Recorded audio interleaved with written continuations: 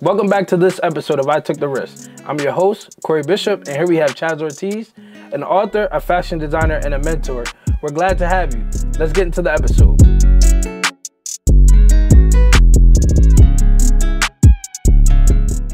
So why don't you tell us a little bit about yourself? All right, so you want to know like where I'm born and all that? Background, yeah. Uh-huh. mhm. All right, so my name's Chaz Ortiz. I'm 33 years old. Um, originally born in Newark, New Jersey. I came to Delaware when I was about 11 years old. Um, we came from like rough environment. Like I seen my cousin actually like kill somebody in front of us. That's why we moved to Delaware. And then we came to Delaware like we didn't have a place to live. We were living in my dad's friend's basement for a couple years until we ended up getting like an apartment. And then from there, I played bas- I started playing basketball. So that was like my first love. And I was pretty good in Delaware, you know, all state, you know, you know, something like. But uh, yeah, played basketball, and then I ruined my basketball career because when I was in high school, I started selling drugs, um, selling weed and stuff like that. And then um, so two two weeks after I graduated high school, I got locked up, and um, I actually had a Division One scholarship to play basketball at Lehigh University. And it's crazy because when I was going there, C.J. McCollum, he went there. Yep. He signed there when I was signing there. So I'm like, I could have been playing with him. You know what I'm saying? So after that, I came home and then basketball was done. They're like, oh, he's a knucklehead. We don't want him. So then from there, I just got a job and then I was like, just trying to find myself. And it was, it was a rough, rough, rough little patch, man. Wow. Okay, that's cool, man. What high school did you go to? I went to William Penn and I went to Glasgow. Hey, shout out to the Colonials. Yeah. Uh, okay, so what's the story behind God Made? story behind God made, man. So I had to back up a little bit before. I had a, I had another business called uh, Check Rock. Um, it's a basketball camp. Yup. Yeah, I, everybody know now like the um, Busy Bones. Yup. He just got drafted. Um, actually, like that was like one of the first players I was training since he was in eighth grade, and um, so I started that camp. But in the midst of that camp is when I started going crazy uh, with the Percocets. I had a like very very bad addiction. So um, I left the camp. I lost my connection with all the kids. I disappeared for maybe about two and a half years. I deleted my socials, everything, and um, I just started praying because I like I lost everything. Like I lost my apartment, I lost my car, I had no clothes, I had nothing. So I went back home, and then I was like, I started praying every day, just trying to like look for change, and then within that, um, I got the I got the logo. I got the logo in a dream. It's it's crazy how the logo came, and I woke up out my dream and I, I wrote it down, and then um I started to close. From there, I just started building, building. I wrote a book. And um, yeah, that's that's exactly how the brand came around. Just from me losing everything and just trying to find myself, found God, and then everything started changing. Yeah, man. That's Yeah. what's up, man. That's that's I cuz I would have never thought like that coming from you cuz I've always seen I, I paid attention to the check Rock a little bit Mm-hmm. early earlier on in the early stages of it. I think y'all was doing it at the park, Yeah. out Green Bank Yup. and uh, over at Prices a couple times. Yup. So and then it, as it progressed, it and kept growing and stuff like that. That's Yeah. dope, man. But I didn't. That that story is amazing. Behind behind the logo, that's that's cool, man. Yeah. Um, so talk to us a little bit about how your past um, shape what the God made and um, on a personal level. Okay. Um, it helped a lot because I feel like, like where I came from and the things I used to do, I'm like a, a totally different person. So now it's like I can see like all the flaws I had, like all the mistakes I made, like all the things I was doing, I was doing wrong, and things I wasn't like really trying to learn, and really not paying attention to anybody that came before me, like um, old heads that gave me advice and things like that. I want to listen. So now I see it like I see it when I'm talking to the kids or I'm talking to my friends and stuff, telling them like, yo, you should do this, you do that, and they're like, nah, man. I'm like, dang, we really lost out here. It's like it, it's crazy, man. It's crazy. But on a personal level, I pray a lot more. Um, I believe in myself a lot more. I definitely believe in God a lot more, and I don't take nothing for granted, man. Cause anything can just go just like that. That's, Yeah. I- yeah, that's that's a gem in itself, man. Never taking anything for granted. Uh, you know, we live in a society where uh, so many things happen, and, and that one mistake or that one slip up, you know you don't know what's going to happen next. So I do commend you for Yeah. you know not taking things or not now not taking things for granted and on a, on a personal level and on a business level. Right. Um, so, with your store in Wilmington and um, how how meaningful is it to have that store here? Uh, you know, tra- coming from Jersey to Wilmington, where you kind of essentially grew up and started, you know, a new lifestyle. Right. Man, the, the story behind this store is, is amazing because when I started selling the t-shirts, uh, my, my brother-in-law, he works at this barbershop right here. And um, he used to he used to come see me and he's like, man, you gotta start setting up your table right here at the barbershop. And I'm like, nah, I ain't, I ain't doing that, man. I'm not setting up a table in front of the barbershop. Uh-huh. so he's like, man, I'm telling you, just do it. So the first time I did it, I'm like, dang, it's, it's, it's live out here. I made, I made a lot of money out there. So then I, I went back and I kept going Friday and Saturday for like the whole summer. So then turn around, I'm right next door to the barbershop now. Mm-hmm. So that that story in itself is just like, wow, like how God just set everything up is just amazing. Yeah. But um, being in Wilmington, it's, it's kind of like being in Jersey. It's like the same type of environment, mm-hmm. And it's so important here because, like the, the youth here, they, they they need somebody, Absolutely. and there's really no like no guidance. Like when I was coming up, like the older guys around us, they had us doing the wrong things. Mm-hmm. Like that's how I got into selling drugs because the older guys, they're like, man, look, I give you this phone, I give you this, I give you some money in your pocket, buy you new sneaks. All you gotta do is do this and bring you back this. And that's exactly how it happened. Then I see like older guys here, and they're doing the same thing to the kids. It's like, man, do this. I'll watch out for you. And I'm like, yo, you sending them down the wrong path. It's like, it's, it's crazy. Th- That's why I really like being here because now I can talk to the kids and give them some guidance, give them game, and let them know like, yo, it's, it's more to life than selling drugs. You can, you can be an entrepreneur. You can do this, go to school, do whatever you want to do. But the streets is not it, man. It's, it's definitely not it. Absolutely, man. I see, uh, you know, coming from Wilmington and just seeing a different aspect, and there's a lot more avenues now.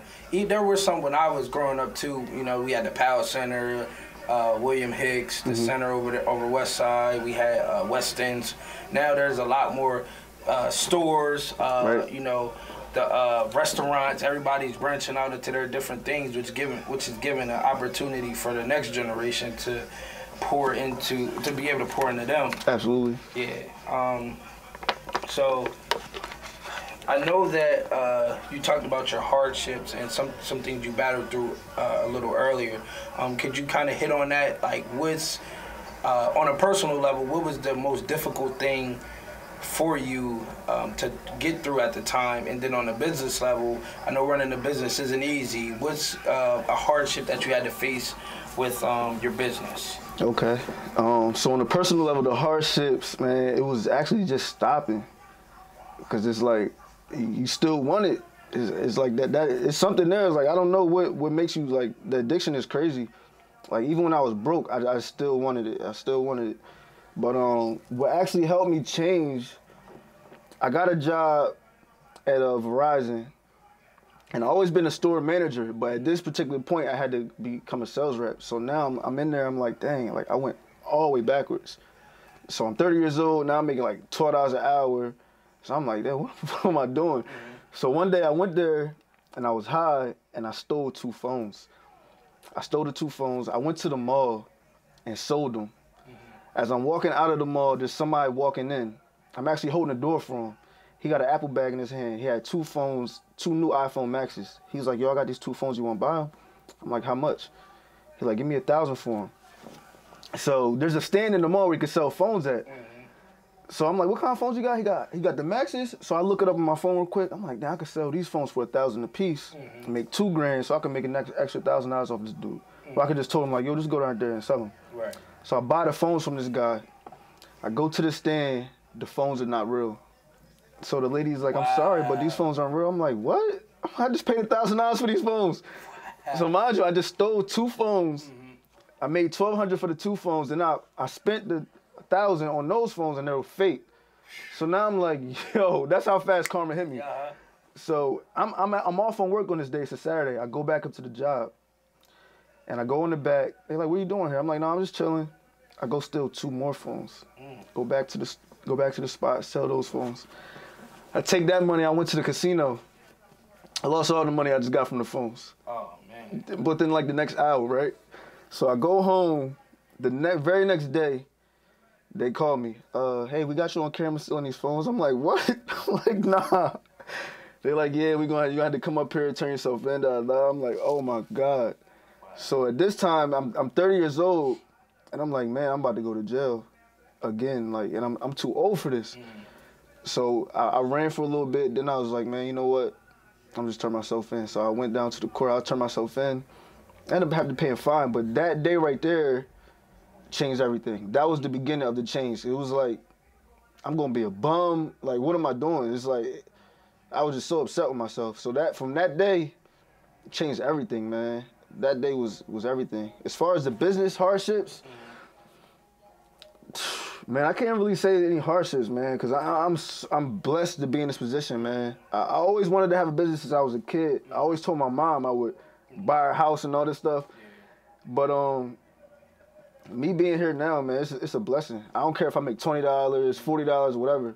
It's, I- I'm just grateful to be in this spot, man. So it's, it's really no hardships with the business mm-hmm. because I'm used to working at jobs, making them money. The same thing I was doing for them, I do for myself now. So it's like Right. I can't complain at all with the business, man. Mm-hmm. Just yeah, that's that's really it. The only thing I had struggle with was like like little things like um taxes and things like that where I had to actually learn from somebody and so I could figure that out. Mm-hmm. But like just the operations and things like that, I always been a store manager, so I know how to do those type of things. Right. So I feel like all the jobs that I had built me up to this point. Yeah. So it's, it's pretty easy for me on on that level. Okay. Oh man, that's that's that's cool, man. To to have that come full circle on your personal level to then transition into uh, you owning your own store. You know, like you said, all the jobs that you did help prepare you for Exactly. Uh, this particular situation that you're in now. And you know, you don't you don't really know who you are until you go through something. Right. So you know, you went through a lot to now figure out who you are now. That, that's pretty dope, man. You kind of touched on it a little bit, uh, also. So with you being an entrepreneur, is it? Uh, are you a first generation? I know uh, Yes. I, a friend of mine. He he entrepreneurship runs in his family, so he's in a sense a legacy kind of thing. Right. Uh, but can you just touch on that a little bit about being a first generation entrepreneur? Okay. So uh, funny story, man.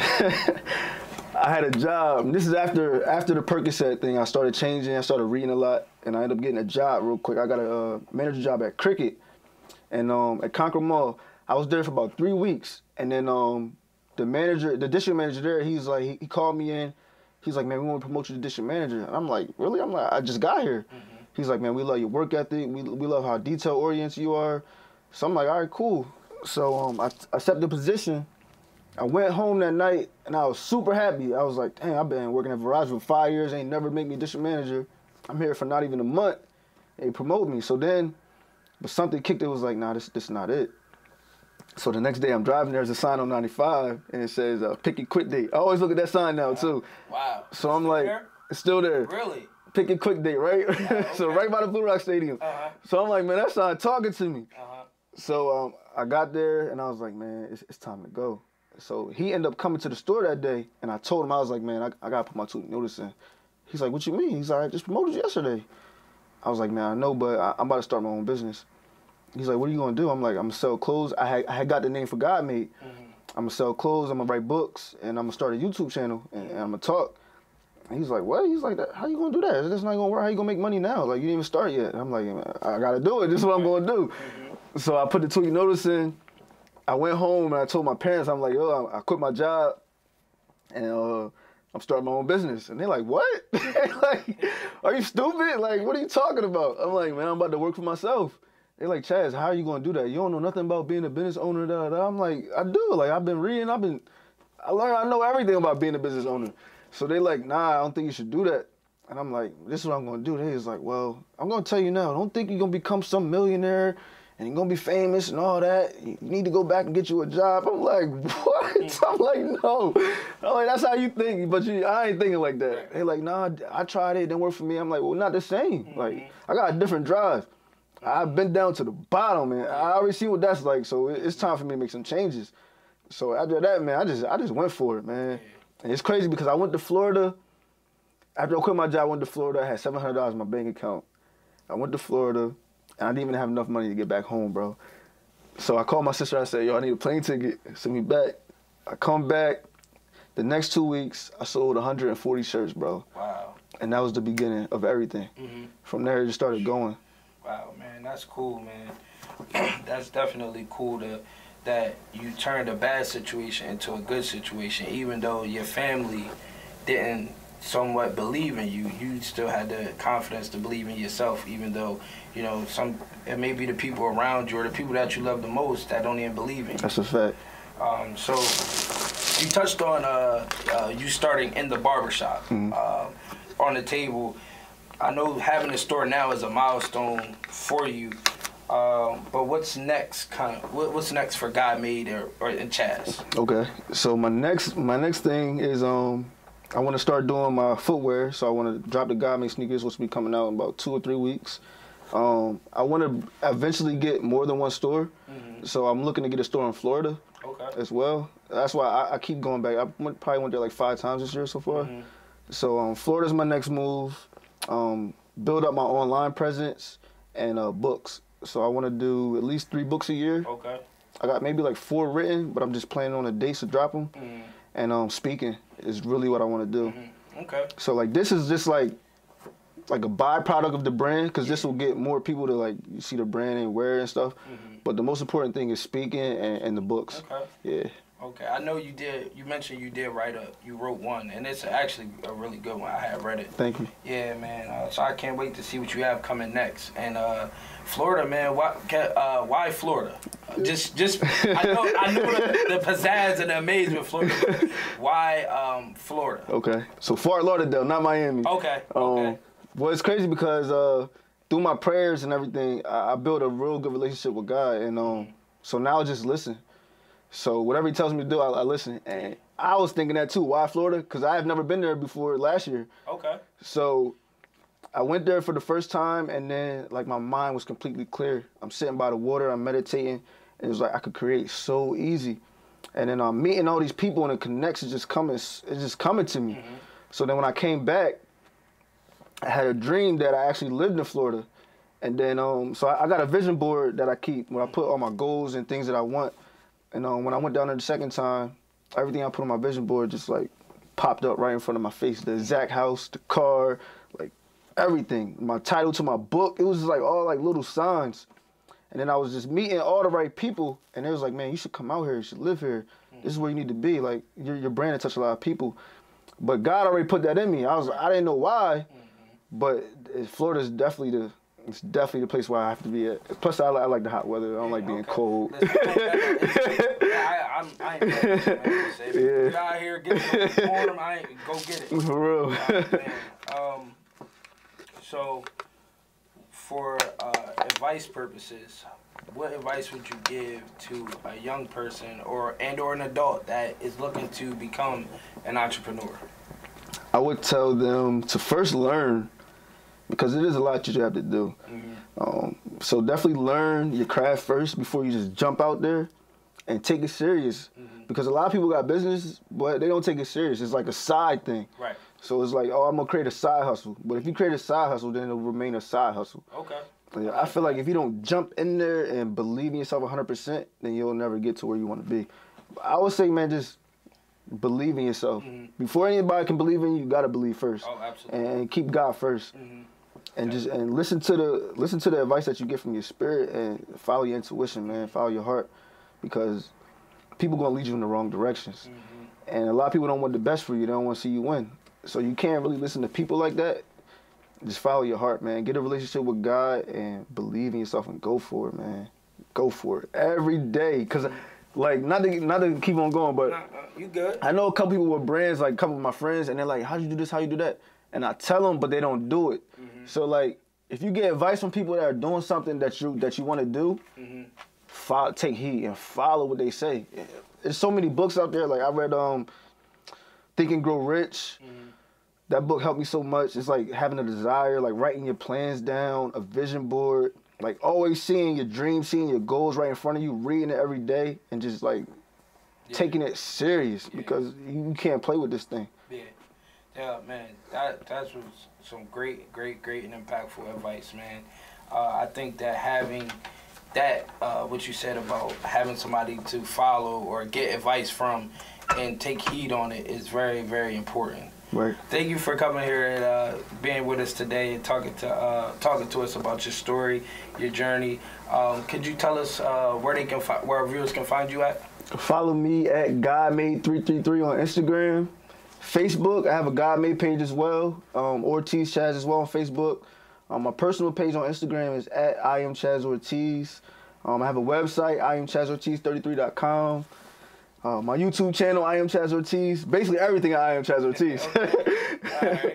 My okay. book on Amazon, the book that changed your life. I've got another book coming next month. It's called A Look in the Mirror. Yo, Okay. All right. Thanks again, man, for being here. It was a great, great conversation, and we hope to see you soon. Have, have a nice one. thank you, bro. Appreciate you. All right.